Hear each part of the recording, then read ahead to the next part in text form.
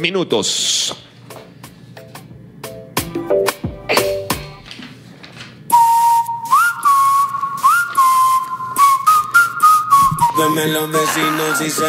Carlita, a ver, este, si tú tuvieras, si tú estuvieras casada, Sí. ¿correcto? Y tu esposo le aumentan el sueldo y no te lo dice. ¿Te molestarías? o no? Obvio, claro que sí. Porque Tú- la comunicación y la confianza es lo importante en una relación. Claro. Y desde que no me cuenta algo, ya pues lo tomo como que, bueno, no hay confianza. Entonces, no, pues me parece mal. Mal, malazo. Malísimo, sí, El día que te cases, Carlita, Sí. que ya espero que sea cuando tú quieras, en realidad te iba a decir pronto, pero es cuando a ti te dé la gana.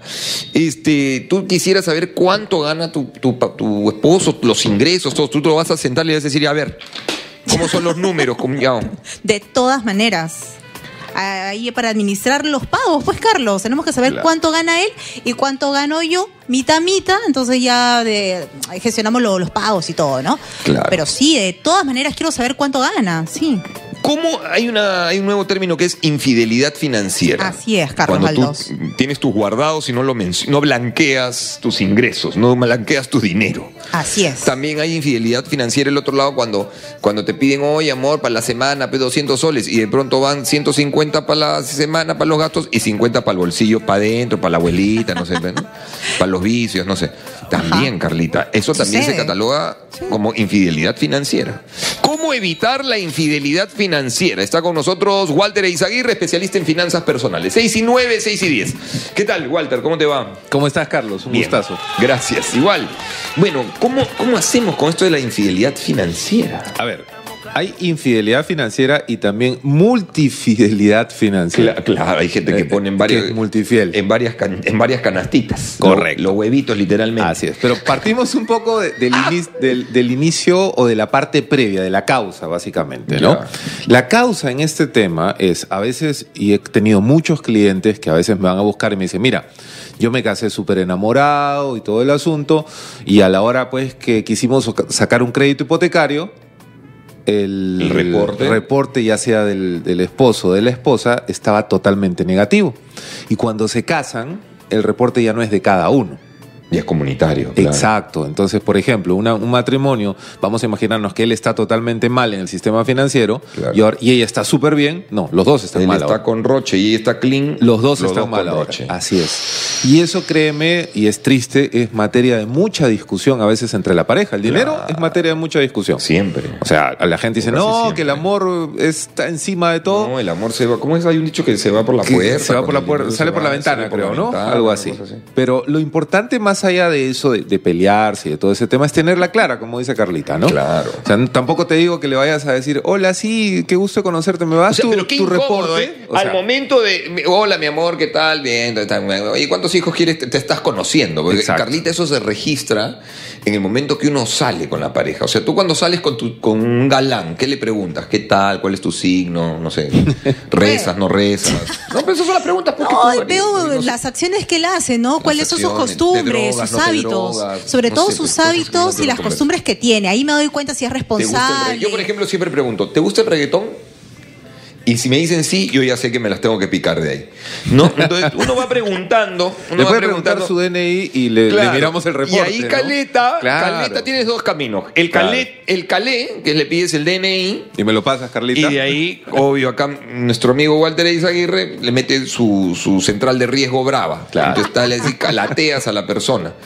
O la otra, ya te vas tú de boca, de trompeta en una y le dices, mira, yo la verdad quiero saber, ¿estás con alguna arruguita? Exacto. O Exacto. sea, ¿estás con roche en el sistema financiero? Porque yo aspiro a, a sacarme un carro, una casa, un avión, no sé, y no me quiero reventar. De acuerdo, porque ese es el inicio un poco, vamos a decirle la causa, ¿no? Si ya tienes tú algo que estás ocultando, que sabes muy bien que va a afectar el futuro de la pareja, porque la pareja tiene que tener cosas en común, digamos, Claro. una planificación, ¿no? Ya empiezas mal. Obvio. Ahora, es bien complejo, Carlos, más allá que nosotros digamos, ¿no? Sí, que la gente debe saber cuánto ganan. Cuando tú le preguntas a alguien sobre dinero, No, eh, la gente pone no un habla. muro, Sí, se claro, molesta, es que y es incómodo, normal, ¿no? de una u otra forma Seguro, también. claro, tampoco andas diciéndole a todo el mundo Exacto. gana. Digamos que esa es la pregunta.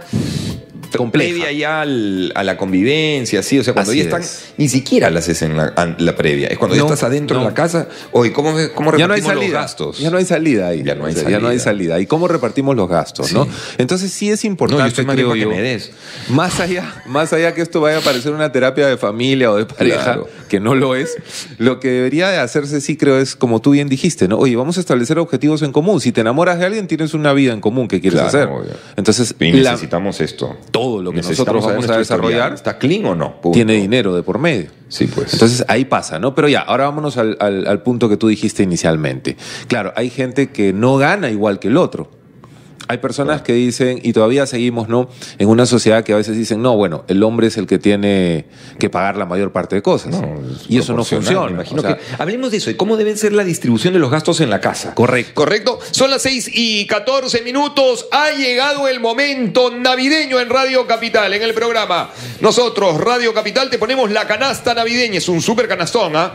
Te regalamos una canasta navideña. Lo que tienes que hacer ahorita es ingresar a capital.pe. Entra desde tu celular ahorita o desde tu, sí, tu teléfono, lo que tengas, o si tienes una computadora al lado. Capital.pe, capital.pe, capital.pe. O ingresa a las redes sociales de Capital, Capital en el Facebook, y automáticamente hay un formulario, pones nombre, apellido, dirección, cuatro cosas, y te va a pedir un código. Es el 6759. Listo. Tienes hasta, te voy a dar media hora, hasta las 6 y 45 para participar. Ingresa el código 6759. Antes métete a capital.pe. Ingresas el código 6759. Y en media hora yo te digo si ganaste o no la canasta navideña de Radio Capital. Una hora, una hora, hasta las Ah, 7 y una hora. 15. Así es, tiene más 7 y 15. oportunidades. Y en una hora entonces, además me parece en- genial, porque es un concurso flash.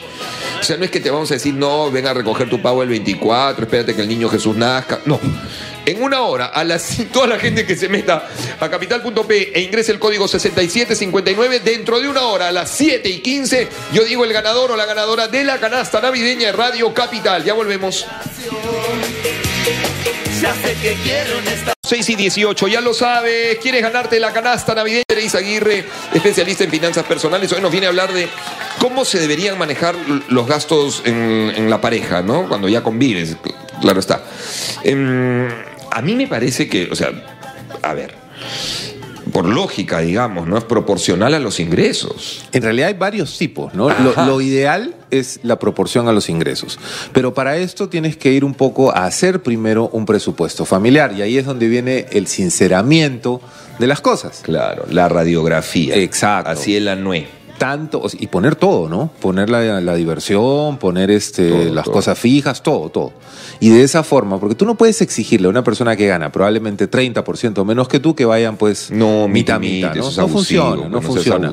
Vas a tener uno totalmente estresado y vas a tener un exceso de dinero en el otro lado. Así es. Vas a tener una persona que se puede ir con sus amigos a tomar un café y vas a tener otra persona que se va a ir a cenar con los amigos. Claro. Entonces, eso rompe el equilibrio. He visto todo tipo, he visto esa forma, he visto la del equilibrio, he visto donde dicen, ya, tú te encargas solamente de la comida y de los servicios y yo me encargo de pagar el alquiler, las pensiones de colegio, lo que fuere. Pero después que tú dices, ya tú, tú- a que tú le dices, tú pagas los servicios y te están teniendo que apagar la luz a oscuras. No, y después abres la refrigeradora y No hay y- nada. y no hay nada. Claro. Entonces te dice, oye, Sí, no hay comida. A veces ¿no? lo mejor es un fondo común, o sea, el dinero en una...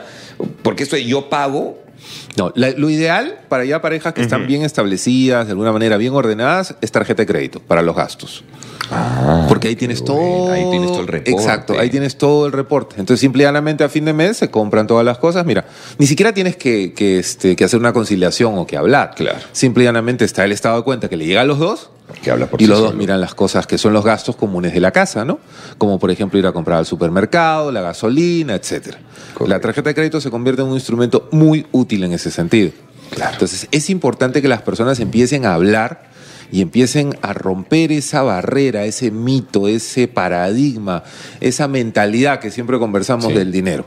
Sí, claro. Y que, oye, el dinero es un- una, una ayuda para que nosotros tengamos pues un futuro mejor. Es hermoso. El que me Eh. diga que no lo... Que, que- El que nos diga que no está mintiendo. No sé, o su problema, pero a mí me encanta. Sí, el claro, dinero. o sea, Ahora, el dinero, ¿sabes qué- cuál es, qué es lo más lindo del dinero? Que saca, lo, saca la persona real que eres. Eso es lo más Así lindo es. del dinero. Tal Así cual. es. El dinero nos permite la maravillosa posibilidad de conocer a la gente. Sí, totalmente. Tú dices, "Eh, este tipo con dinero o sin dinero sigue siendo la misma persona. Si ves que es un imbécil con dinero, ya sabes que ahí a kilómetros de distancia. Sí, correcto. El dinero es sincerador. Sincera. Liberador. Liberador, liberador, amado sea. Pero claro, Sí, obvio, es o sea, correcto. no- mi estado de ánimo no puede variar por el dinero, obvio. Obvio, hay bemoles, hay matices respecto a, a épocas de crisis, más, menos. En la economía es así, ahí los ciclos económicos son cada 20 Sí, años, claro. sub y baja, up and down. Pero, pero bueno, ahí está pues, como tú te gestiones Sí, las emociones, ¿no? Totalmente. ¿Sabes qué otra forma es buena también para controlar el tema de las finanzas? Que apunten todo en su agenda de finanzas personales. ¡Epa! Hay una Exacto, agenda de ¿no es finanzas cierto? personales de Walter Izaguirre, pero la hubieras traído para enseñarla. Necesitas me- traerla no- todas no las la semanas. la voy a traer la próxima. Bueno, entonces, ¿cómo te manejas tú con las finanzas familiares? Hola, en la vida de pareja, claro. Claudia, ¿cómo estás? Muy bien. Qué lindo. ¿Cómo estás? ¿Todo bien? Muy bien, me has dicho.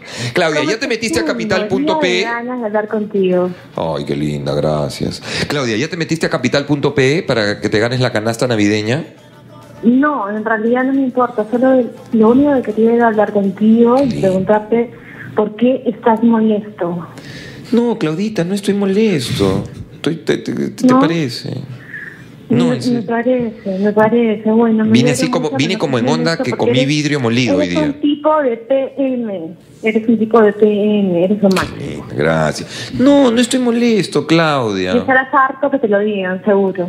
No, Claudita, siempre es lindo escuchar cosas lindas, ¿no? Claro.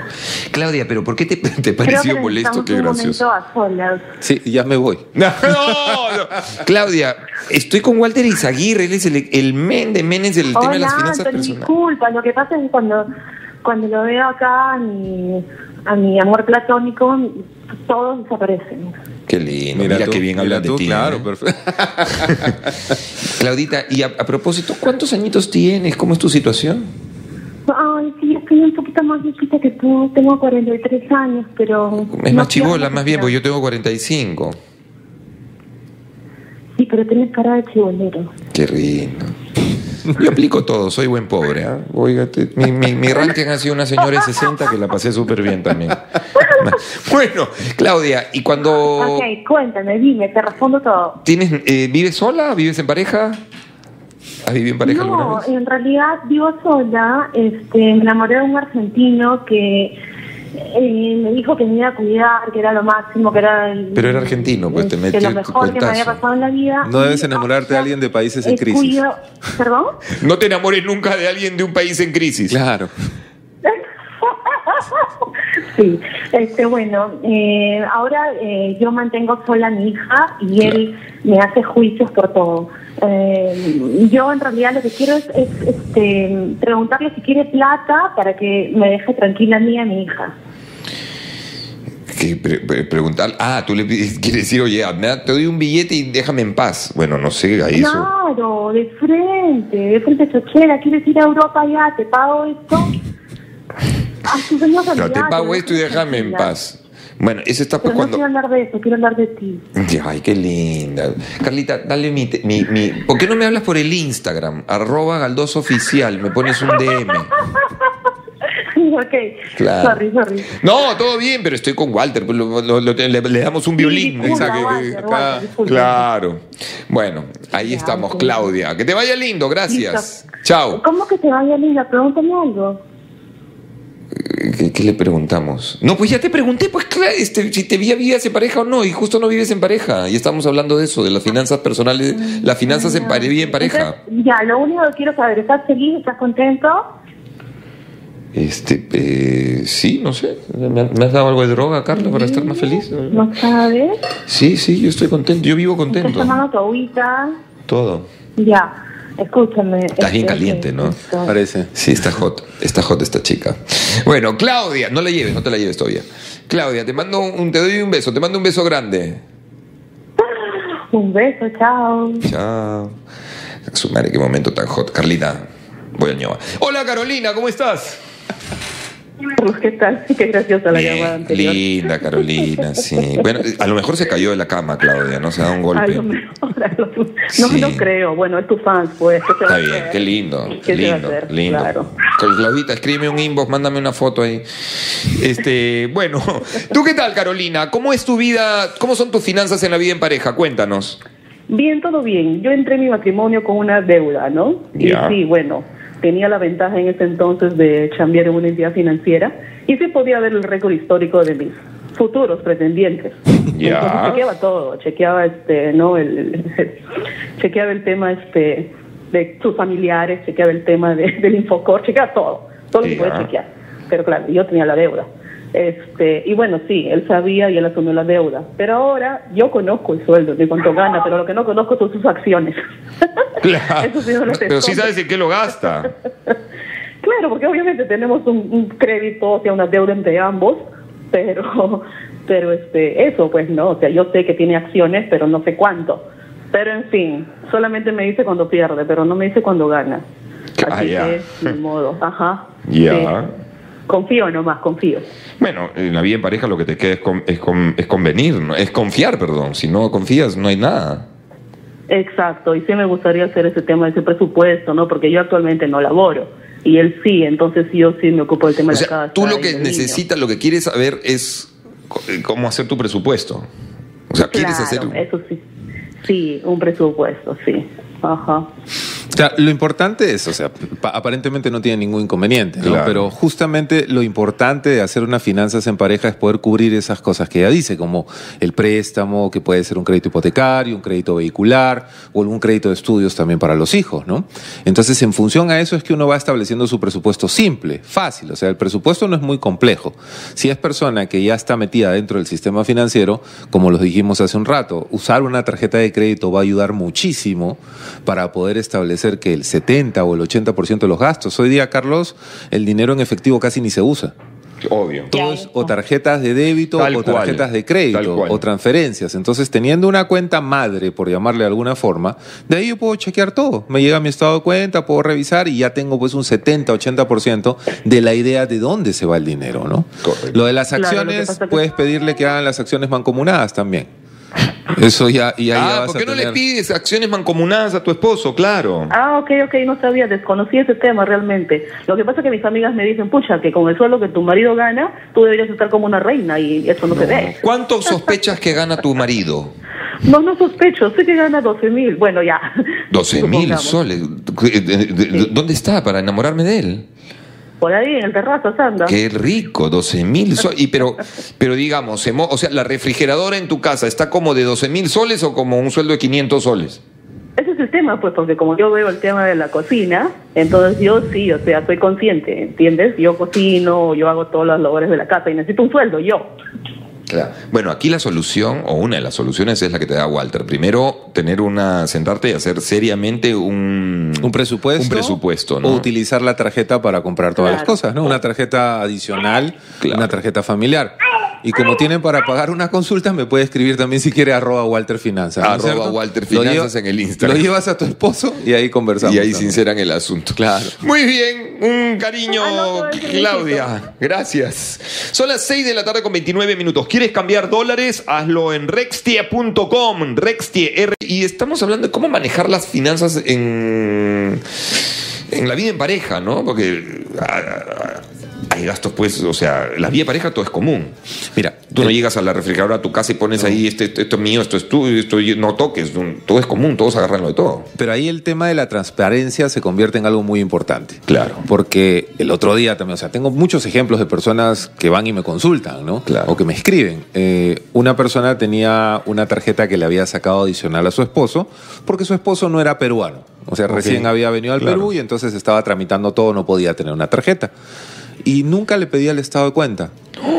Y cuatro meses después tenía un estado de cuenta de 20 mil soles en contra, que no había pagado. ¿En qué gastó el gringo? Lo que pasa es que él, ten- no era gringo, era latino, ¿no? Pero Ah, lo que peor. pasa es que él tenía un negocio propio que quería implementar acá. Ah. Y cuando uno tiene un negocio, uno se apasiona, se enamora y pierde la objetividad del negocio. Y lo peor que puedes hacer para todas las personas que nos están escuchando, porque muchas personas lo hacen, es sacar dinero en efectivo de la tarjeta. No, sacó efectivo de la Sacó tarjeta. efectivo de la El tarjeta. efectivo preferente. Para, para, ojalá fuera el efectivo preferente, Ni porque el efectivo claro, preferente tiene tasa más baja. tasa más baja. Sacó la disposición en efectivo, ¿no? Para poder tratar de salvar el negocio como capital de trabajo. Se pudrió todo. Y al final, créeme, Carlos, que llegó un problema familiar muy fuerte, porque la chica dijo, oye, él se ha quedado sin trabajo todavía, y yo con mi sueldo no solamente tengo que cubrir la casa, también tengo que cubrir la deuda. porque ella trabajaba para una empresa que le brindaba servicios a una empresa financiera. Ah, no. No podía no estar podía reportada. en roja, claro, Entonces, en roja. mira, mira todas las implicancias que hay si uno no maneja adecuadamente sus finanzas, ¿no? Yo mañana voy a estar hablando gratis de esto en la librería SBS en Miraflores, que voy a presentar mi agenda. Buenísimo. En la que está en la avenida Angamos, a las 7 de la noche. El ingreso es libre. Ok, 6 de la tarde con 35 minutos, ya lo sabes, inscríbete ahorita a capital.pe, ¿Cómo estás, Carlitos? ¿Qué tal? Buenas tardes. Bienvenida. Ah, al señor también que te acompaña, a mi agradecimiento por la respuesta. ¿Cómo estás, Silvia? ¿Qué tal? ¿Cuál es tu Sí. consulta? Sí, mira, Carlos, acá en el país me parece a mí que el machismo siempre está presente. Entonces, es bien difícil que tu pareja te diga el sueldo que gana, te muestre la boleta, te diga estos son mis gastos, estos son mis ingresos. Yo lo he vivido en carne propia porque ya soy mayor de la tercera edad. Entonces, eh, mi esposo ha sufrido también muchos problemas, eh, ha sido declarado en Infocor. Ahora que él ya se jubiló, a Dios gracias con esto del retiro de la AFP, pudo cubrir ya las deudas que tenía con seis bancos, imagínate. Wow. Pero, este, ¿qué pasa? Que él ha sido conciliador conmigo porque yo soy ama de casa. ¿Y qué me ha hecho él de que la, digamos, haz de cuenta que 100 mil lo dedicó a, ¿no? A saldar las deudas. Y los otros 200 para mí y 200 para él, ¿no? Correcto. Como un justiprecio, digamos, en equilibrio. ¿Qué hago yo con ese sueldo? ¿Cómo lo invierto? ¿En qué gasto?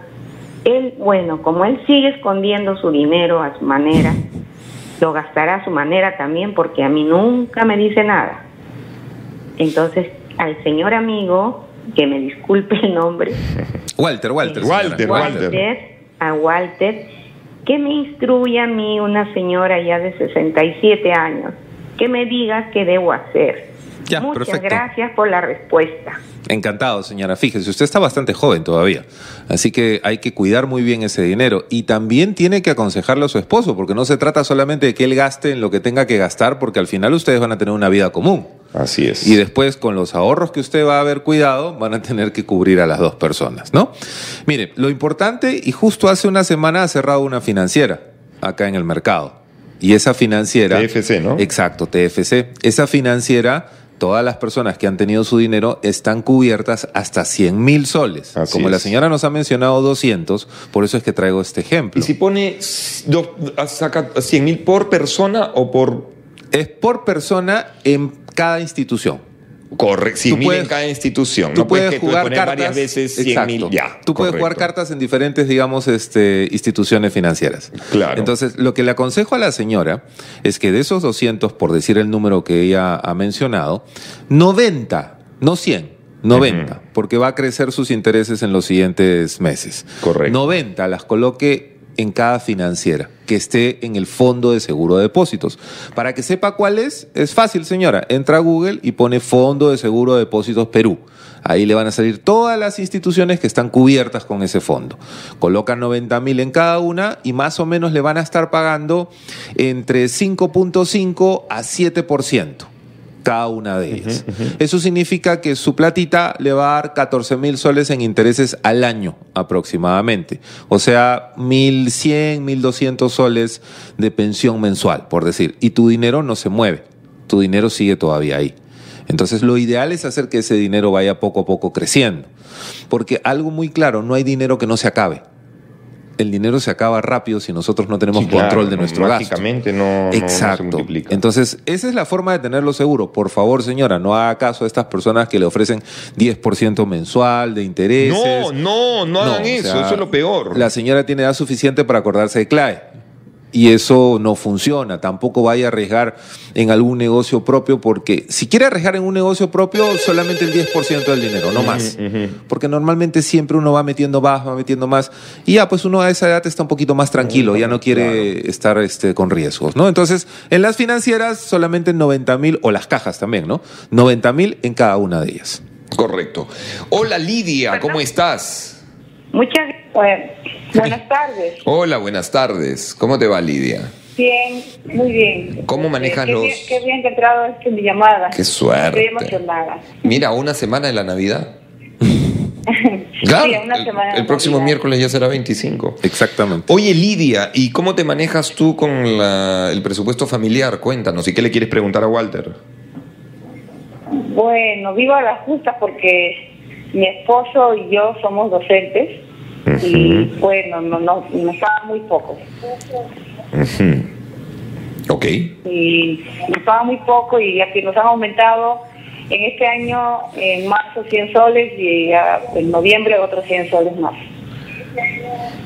No, y me parece muy poco. O sea, la labor que tenemos nosotros como docentes. Seguro, no, eso ya es, es- Sí, recontra ¿Y qué necesitas saber? ¿Cómo te puede asesorar Walter? Eh, mi, bueno, mi, mi pregunta es, eh, por ejemplo, me han, a mí me, me llaman de los bancos para yo, este, eh, que me van a dar préstamos, pero en efectivo, Ya. en dinero en efectivo, ¿no? No sé, me parece que la tasa de interés es muy alta, eso quería, quería saber si retirar en efectivo me conviene o no. Ya, a ver, partamos por un inicio, ¿no? La señora nos comenta pues que obviamente está con una remuneración baja y que más o menos va con altibajos, Así o como es. yo le llamo el semáforo en ámbar para cubrir las necesidades este, dentro del mes.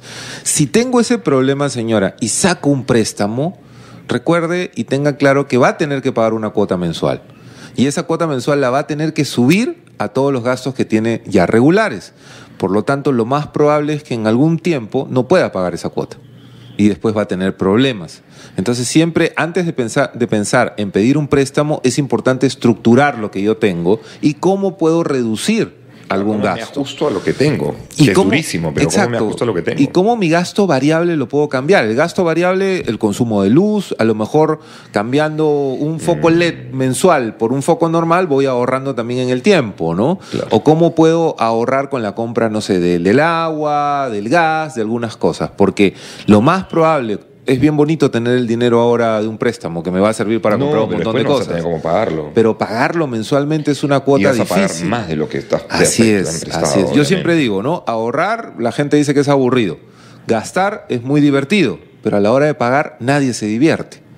Y eso es algo que tenemos que tener bien claro, ¿no? La deuda se tiene que pagar en el tiempo. Así que, señor, si le alcanza para poder poner esa cuota dentro del pago mensual, perfecto. La recomendación sería no saque plata de una tarjeta de crédito. En todo caso, el crédito más barato es un crédito personal o de libre disponibilidad respecto a lo que es eh, el dinero para re- recibir de una institución, ¿no? Muy bien, gracias. 6 y 43, muy amable. Hola Patricia, ¿cómo estás? Gracias a ti. Bien, gracias. Qué bueno. Pati, ¿cuál es tu consulta? Bueno, más que una consulta es algo que me sucedió cuando hice, cuando estaba viviendo con una persona y dentro del presupuesto, este, bueno, pues no decidimos eh, adquirir un bien, y- un, un departamento. Entonces, Ya. el departamento, para poder sacar el departamento teníamos obviamente que solicitar un préstamo. Eh, a mi pareja no le daban el préstamo porque tenía demasiadas deudas en las tarjetas de crédito. Por tanto, tenía que reducir estas deudas. Y para eso yo saqué un préstamo, un por convenio en el trabajo. Entonces, obviamente, pues eh, había la confianza del caso, saqué el préstamo a mi nombre, yo nunca le hice firmar ningún documento y él salió el, salió el préstamo, pagó todas sus deudas y finalmente la relación se terminó. Y a la fecha me quedé con toda la deuda. No, eso no se Yo. hace. Eso no se hace nunca. Es un interés muy alto, ¿no? Sí, el interés a pagar es altísimo. Es demasiado alto, ¿no? Ahora, eh, Sí, bueno, una reflexión más que otra cosa de lo que nos ha comentado, ¿no? O sea, uno Sí, nunca le pagues las definitivamente. deudas a tu pareja. Obvio. Pero lo otro es que a veces nosotros nos endeudamos con las tarjetas de crédito por deporte, digo Carlos. O sea, y compramos, y, y siempre coloco este ejemplo en las clases a veces que doy, ¿no? A veces compro un televisor de 50 pulgadas y ese televisor de 50 pulgadas que lo pago a 5 años termina malográndose en 2. Claro. Porque hoy día los televisores no son como antes, ¿no? Se queman muy rápido. Y no termino de pagarlo y ya, Y ya me estoy enganchando con el me otro. malogro mi historial crediticio. Me malogro mi historial crediticio. Ahora que se viene la época escolar, las entidades financieras te ofrecen un préstamo para la matrícula a 24 meses. ¿Qué significa eso? Que vas a pagar la matrícula del 2020 y la vas a seguir pagando todavía en el 2021. ¿Y qué vas a hacer con las del 2021? La vas a pagar hasta el 2023. Entonces, si nosotros no empezamos a tomarle seriedad a ordenar nuestro dinero y a decir, oye, quiero usar esta tarjeta. No, ¿sabes qué? Voy a ahorrar mejor para comprarme ese televisor, ¿no? Voy a ahorrar ocho meses, lo que fuere, y ya tengo mi televisor. Bacán, tú quieres tu televisor, ahorra. Pero si te endeudas, el comprar con una tarjeta entras a un círculo Sí, no, olvídate muy, muy vicioso. Entonces, eso te trae problemas cuando realmente quieres un préstamo que vale, como el que nos cuenta nuestra amiga, que era el tema de comprarse una casa, ¿no? Bueno, gracias por tu llamada. Son las 6 y 46. A Walter Izaguirre lo encuentras en el Instagram. Arroba Walter Finanzas. Arroba Walter Finanzas, es Walter Finanzas en Instagram, seguro ahí ven sus historias y, o lo que él sube, publica y van a encontrar una agenda. ¿Cómo se titula tu agenda? La agenda. Mi agenda se llama Ahorra, Invierte y Diviértete. Y mañana la voy a presentar en librerías SBS de Miraflores en Angamos a las 7 de la noche. Muy bien, gracias Walter. 6 y Encantado. 46. Ya lo sabes, te queda todavía media hora para inscribirte.